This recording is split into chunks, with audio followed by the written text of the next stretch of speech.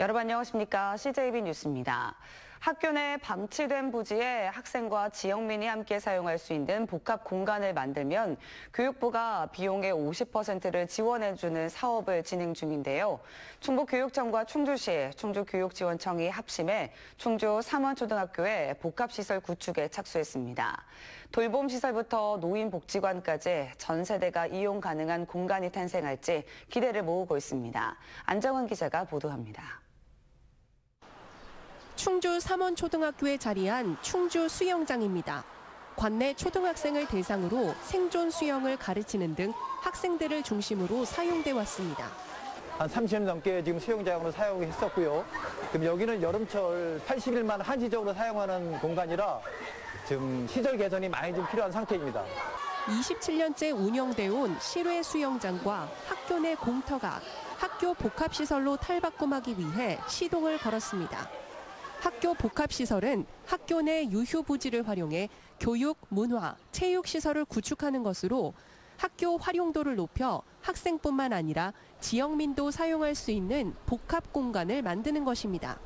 이에 따라 삼원초는 기존 수영장 부지엔 주차장을, 학교 내 유휴 부지엔 실내 수영장과 돌봄 교실, 노인 건강 복지관을 갖춘 복합 시설을 건립한다는 구상입니다.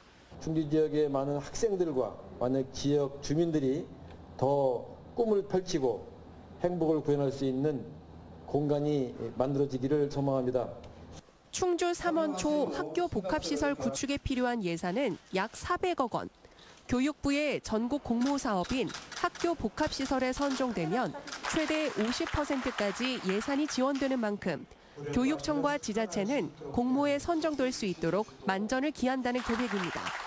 우리 지역의 아이들에게 생존 수영, 엘리트 수영, 그리고 아이들과 시니어들이 한데 어울리는 그 건강한 복지타운이 제대로 또 차질 없이 충주 삼원초를 시작으로 청주와 진천 소재 초등학교도 학교 복합화 사업을 위한 논의를 진행 중인 가운데 충북교육청은 이달 말까지 공모 접수를 받아 교육부에 제출할 계획입니다.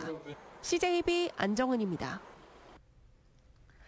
전국 과수농가에 막대한 피해를 입히고 있는 화상병의 저항력이 높은 사과나무 대목 조직 배양 기술이 개발됐습니다. 기존 노지에서 직접 대목을 키울 때보다 10배 이상 생산량이 높아져 과수화상병 차단에 청신호가 켜졌습니다. 조용광 기자입니다. 충북 농업기술원내 조직 배양실입니다. G11로 불리는 사과나무 대목이 배양되고 있습니다. 이 대목은 노지로 옮겨져 자라 사과나무와 접목됩니다. 조직 배양을 통하면 노지에서 직접 대목을 키울 때보다 한 주당 50주, 10배 이상 생산량이 높아집니다. 농기원은 지난 2년의 실험을 거쳐 G11 대목 대량 생산을 위한 조직 배양 기술 개발에 성공했습니다. 또 1999년 미국에서 개발된 G11 대목이 국내에서 통상적으로 사용되고 있는 M9나 M26 대목보다 과수화상병 저항성이 41에서 46% 높은 것을 확인했습니다. 기존의 그 사과 증식은 간행으로 해서 5배 정도 1년에 가능했는데 이 대량 증식 기술을 활용을 하면 한 주당 30배 이상 어, 증식 가능하기 때문에 지난 2015년 국내에서 처음 발병된 과수화상병은 2018년 이후에는 한 해도 거르지 않고 과수 농가를 괴롭히고 있습니다. 도내에서는 특히 99%가 사과나무에 집중되고 있습니다. 감수성인 대, 그 대목을 심는 것보다는요 저항성 대목을 심어야 저희가 화상병의 방제도 될 수 있고요. 농기원은 G11 대목 조직 배양 기술을 특허 출원하고 내년부터는 도내 민간 기관에 기술을 이전해 본격적인 대량 보급에 나설 계획입니다. CJB 조윤광입니다. 충북경찰청이 두 건의 출생 미신고 아동에 대한 조사를 추가로 벌이고 있습니다. 경찰은 지난 2015년 출산한 뒤 아기를 우연히 만난 부부에게 넘겼다고 진술한 충주의 40대 여성과 2년 전 태어난 아기를 서울의 한 베이비박스에 보냈지만 자세한 내용에 대해선 기억을 하지 못한다는 음성군 20대 여성에 대해 추가 조사를 벌이고 있다고 밝혔습니다. 현재 충북경찰은 46건의 신고를 받아 사실관계를 확인하고 있습니다. 있으며 이 중 11건은 범죄 혐의점이 없거나 소재가 파악돼 종결 처리했습니다. 미성년자와 성매매를 한 혐의로 기소된 충북교육청 공무원 42살 A씨가 검찰로부터 기소유예 처분을 받았습니다. 청주지방검찰청은 지난해 6월 청주의 한 무인텔에서 미성년자와 성매매한 혐의로 기소된 A씨에게 성범죄 예방교육 이수를 조건으로 기소유예 처분을 내렸습니다. 도교육청은 조만간 A씨에 대한 징계위원회를 열 예정입니다. 청주시가 매입비 500억 원 미만의 장기 미집행 공원에 대해 규제를 푼 지 3년이 지났습니다. 과연 민간 공원을 통해 녹지를 보존한 곳과는 어떤 차이가 발생했을까요? 리포트를 보시면 왜 민간 공원을 조성해야 했는지 이해가 되실 겁니다. 홍우표 기자가 취재했습니다. 청주시는 지난 2015년부터 5만 제곱미터 이상의 장기 미집행 공원에 대해 민간공원 개발을 추진하고 있습니다. 민간 사업자가 공원 전체를 매입하고 30%의 땅에 아파트를 짓고 나머지는 정주시에 소유권을 넘겨주는 방식입니다. 보시는 것은 도시공원 가운데 처음으로 이런 식으로 아파트를 지은 잠두봉 일대입니다. 고밀도 개발을 통해 아파트를 짓고 보존된 녹지가 깨끗하게 펼쳐져 있습니다. 정주시의 도시공원 8곳 가운데 두 곳이 이렇게 탈바꿈됐고 네 곳은 현재 사업이 진행 중입니다. 반면 매입비 500억 원 미만으로 규제를 풀어줬던 구룡 2구역의 현재 모습은 어떨까? 구룡산 정상 부근까지 산발적으로 전원주택, 빌딩들이 들어서 있습니다. 불과 3년 만에 벌어진 일로 예상보다 빠른 난개발 속도입니다. 나머지는 뭐 난개발이나 개발 쪽으로 많이 갈 것 같습니다. 그래서 저희는 최대한 계획한 장기 미집행 도시공원에 대해서는 청주시는 최대한 지키려고 하는 거고요. 다른 것도 이제 여유가 있다면 저희도 뭐 하려고 하는데 뭐 쉽지는 않은 것 같습니다. 정주시가 민간 개발을 통해 난개발을 피한 공원 면적은 40만 제곱미터로 전체의 53%가량입니다. 나머지 39만 제곱미터는 이미 난개발이 진행되거나 그럴 운명에 처해 있습니다. 그나마 7만 제곱미터의 공원은 청주시가 임대료를 내고 사용 중으로 난개발 실태를 고려할 때 매입의 필요성이 커진 상태입니다. CJB 홍우표입니다. 충청북도가 전국 최초로 시행 중인 영상 자서전 사업이 본격화하고 있습니다. 기존엔 60세 이상 어르신만 대상이었는데 이젠 충북 도민이라면 누구든 촬영할 수 있다고 합니다. 박원 기자입니다. 어릴 적 반에서 성적은 1등을 놓치지 않았지만 가정 형편이 어려워 중학교에 진학하지 못했던 기억. 공부를 남한테 못한 사람도 중학교 그걸 가는데 나는 예, 성적은 좋은데 입학금이 없어서 중학교에 못 갔습니다. 30년간 청춘을 바쳤던 공직 생활에서 돈의 복지 시설을 위해 힘썼던 게 아직도 생생합니다. 그걸 내가 돈의 전체를 전수조사를 해가지고 도의 사람에게 특별히 거절해가지고 세탁기 하고 어, 모포 화장실 새로 사준 기억이 제일 충청북도가 전국 최초로 시행하고 있는 영상 자서전 사업입니다. 자신이 걸어온 길이나 소중했던 장면을 이야기로 풀어 영상으로 남기는 방식입니다. 지난해 말부터 본격 촬영하고 있는데 저마다의 개성 넘치는 주제를 통해 당시의 시대상을 살펴볼 수 있습니다. 한 분 한 분 살아온 소중한 이야기를 영상으로 남겨서 다음 세대와 공유하는 것이 가치 있는 일이라고 생각을 이렇게 하고 있습니다. 결과물은 유튜브에 게시하는 중으로 후세에게 메시지를 전할 수 있는 가치도 있습니다. 충청북도는 당초 60세 이상 어르신만 영상 자서전을 남길 수 있게 지원하기로 했지만 최근에는 도민 전체로 범위를 확대했습니다. 충북을 빛낸 체육인이나 새로운 장목을 개발한 농민, 젊은 청년의 이야기도 귀담아 들어보자는 겁니다. 시군 복지관이나 평생 학습원 등에 신청할 수 있고 충북 도민이면 누구나 무료로 본인의 자서전을 촬영할 수 있으니 충청북도는 영상 자서전 참여 인원을 당초 2만 3천여 명으로 예상했지만 범위를 넓히면서 앞으로 3년간 더 많은 사람이 참여할 것으로 전망하고 있습니다. CJB 박원입니다.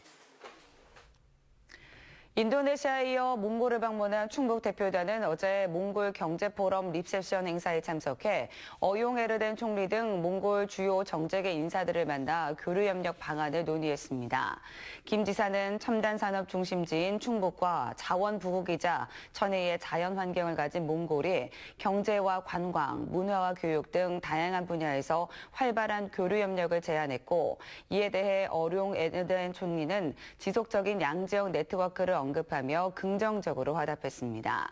김영환 지사는 또 울란바토르에서 열린 수출 창담회에 참석해 도내 중소기업 대표와 관계자들을 격려하고 수출 지원 활동을 펼쳤습니다. 제천시에 충북 최초의 공공산후조리원이 건립됩니다. 제천시는 오는 2025년까지 70억 원을 투입해 하소동 일대에 모자동실과 영유아실 등을 갖춘 공공산후조리원을 개원할 방침이라고 밝혔습니다.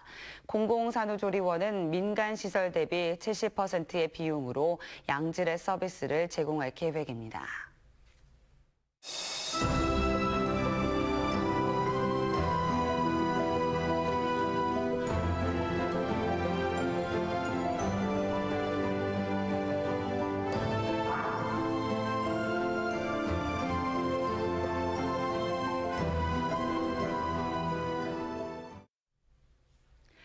다문화 학생 교육의 실태에 대해 짚어보는 연속 보도. 오늘은 정규 교육 과정에 적응하지 못하는 학생들을 돕는 청주의 한 민간 교육 기관을 취재했습니다. 단계별 집중학습과 맞춤형 상담 등으로 학생들의 빠른 성장을 돕고 있는데 이런 민간 기관의 사례가 어떤 현실을 반영하고 있는지 깊은 고민이 필요합니다. 진기용 기자입니다. 청주의 한 건물에 자리한 작은 학교. 언어와 문화가 달라 정규 교육 과정을 따라가는데 어려움을 겪는 중도 입국 청소년들의 적응을 돕는 곳입니다. 올해 16살인 손 블라딕 학생. 10살이던 지난 2017년 입국해 초등학교에 입학했지만 한국어를 전혀 못해 2살 어린 친구들과 같은 반이 되면서 학교 생활에 어려움을 겪었습니다. 한글 기초반도 거쳤지만 결국 학교를 나오게 됐고 이후 입학한 새날 학교에서 한국어를 배우고 초등학교 검정고시까지 통과했습니다. 아, 제가 이번 학교 다닐 때 어, 다른 친, 어, 친구들랑 2년 차이 있, 있었어요. 이야기 안 했어요. 일반 학교보다 스나, 스나 학교는 또 공부하는 게 더 쉬워요. 충북 다문화 가정 지원센터가 운영하는 사설 기관인 청주 새날학교는 올해로 16년 차를 맞았습니다. 학생들의 수업료와 지역 기업들의 후원, 각종 정부 공모사업 예산을 따와 운영되는데 현재 러시아어권 국가와 중국, 태국, 캄보디아, 베트남 등 다양한 국적의 23명의 학생이 다니고 있습니다. 기초부터 고급까지 각자의 수준에 맞는 한국어 교육과 초중고 검정고시반을 운영해 기초 교과목도 완성하고 멘토링 프로그램과 다양한 체험 활동 등으로 한국 사회 적응도 돕고 있습니다. Учителя здесь более понятнее объясняют, и если мы не понимаем какую-то тему, то они пытаются объяснить нам еще раз только по-другому. 가면 일반 학교에 가면 국어, 수학, 영어, 사회, 뭐 역사 이런 것들 다 나눠서 배우잖아요. 그 안에서 한국어가 있는 거지. 근데 여기는 정말 말 그대로 한국어랑 감정고시랑을 약간 집중적으로 수업을 계속 시켜주거든요. 다문화 학생들만의 어려움에 대한 공감도 학생들의 빠른 성장을 돕고 있습니다. 정체성의 혼란 같은 비슷한 어려움을 학생들끼리 공유하고 출신 학생들이 멘토가 되어 후배들을 이끌어주기도 합니다. 보조 강사로 나오고 있긴 한데 제가 선배로서 아이들한테 어떤 조언하거나 좋은 말 해주거나 선생님들도 수업 시간뿐 아니라 쉬는 시간과 식사 시간, 다양한 체험 활동까지 함께하며 마음의 문을 열고 있습니다. 서로 와서 막 도와줘요. 국적에 관계없이. 네, 그런 게 이 학교의 이 학교만이 가지고 있는 특징인 것 같아요. 선생님들도 열린 마음이고 친구들은 자기가 그렇게 경험했기 때문에 그런 친구들을 이렇게 끌어주려고 하는 언어와 문화가 달라 제도권 교육 진입에 어려움을 겪은 학생들이지만 대학에 진학하고 한국 사회의 구성원으로 자리 잡고 싶은 목표는 동일합니다. 저는 수학 선생님이 되고 싶어서 곧 선생님 되기 위해서 중국대 학교 가고 싶어요. 결국 개별 수준에 맞는 한국어와 기초 교과목 학습, 맞춤형 상담이 가능한 교육 여건이 학습 동기를 자극해 학생들을 성장시키고 있는 건데 일반 공교육 현장에서 이 같은 다문화 학습 인프라를 갖추는 건 쉽지 않은 여건입니다. 학생이 20명 있는데 그중에 다문화 학생이 5명이 들어왔다고 쳐요. 그렇다고 해서 그 학교에 다문화 교사를 상주시키면서 아예 다문화 그 교사를 하나를 배치하는 이런 수준까지 갈 수는 없잖아요. 왜냐하면 교육의 자원이라는 게 제한이 돼 있기 때문에. 가파른 인구 감소 추세 속 다문화 학생 수는 매년 증가세를 보이고 있습니다. 다문화 학생들을 우리 사회 구성원으로 기르는 노력을 본격적으로 시작해야 하는 상황에서 공교육이 충분한 교육 여건을 갖추기 전까지 사설기관과의 협업 등 당장 시급한 교육 체계를 갖추는 노력이 절실합니다. CJB 진기훈입니다. 충북교육청이 교육 주체 간 갈등을 공론화로 해결하기 위한 충북교육 공론화 사업에 착수했습니다. 공론화 사업은 교권과 학생 인권 등 법에 의한 갈등 해결이 오히려 갈등을 증폭시킨다는 지적에 따라 폭넓은 도민 의견 수렴을 통해 갈등 조정 기준을 마련하기 위한 것입니다. 향후 충북교육 공론화 사업은 교육 주체와 도민 대상 설문조사와 학생, 학부모, 교직원 단체가 참여하는 수의 토론회 등 등을 거쳐 결과가 도출될 예정입니다. 제천시가 사만의 초록길 입구에 도내 공공기관 최초로 기후위기 시계를 설치했습니다. 기후위기 시계는 지구온난화로 지구기온이 1.5도 상승하기까지 남은 시간을 나타냅니다. 기온이 1.5도 상승하면 폭염 발생 빈도 8.6배, 가뭄 2.4배, 강수량 1.56배, 태풍 강도 역시 10% 증가하는 것으로 알려졌습니다. 충북 청주FC가 선두권 경쟁 중인 FC 안양을 잡아내며 다섯 경기 무패 행진을 이어갔습니다.